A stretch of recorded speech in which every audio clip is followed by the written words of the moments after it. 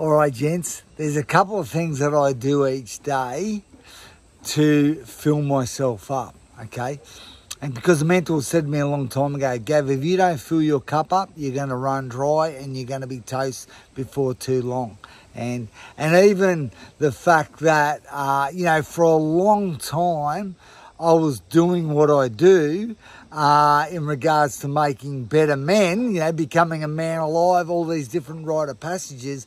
I was doing it for a long time before Facebook, before social media, and before I was ever being paid for it.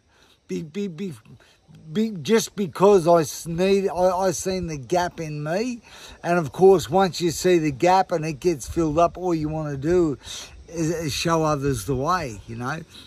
But I remember years and years ago, like this is back. Oh, jeepers! You know, back in the in the in the mid '90s, maybe about '96, '97, and I remember what I used to do.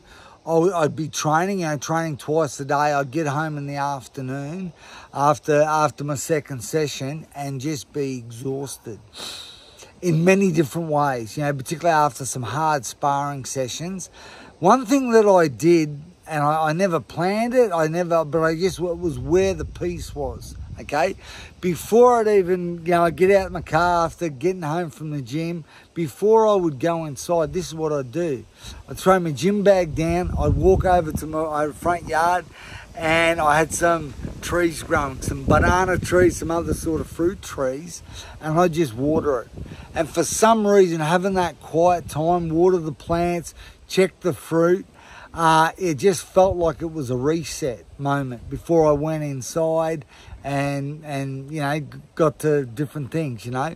Um, and I, you know what? That worked for me. It really pressing the reset and that reset and having that that time just you know, some some men might say, I just need that time in the cave.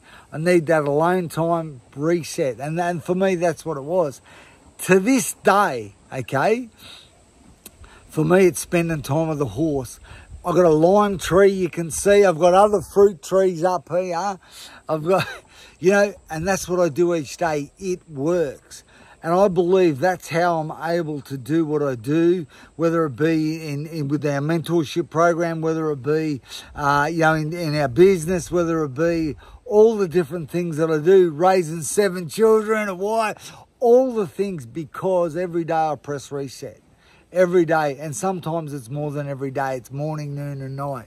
You know it's whatever it takes to get myself operating in the level that i should be. You know that that you know so i'm using all my capacity, not just like what happens when you don't recharge, you just start operating at average and then you start operating below average and then you're just getting by, you know.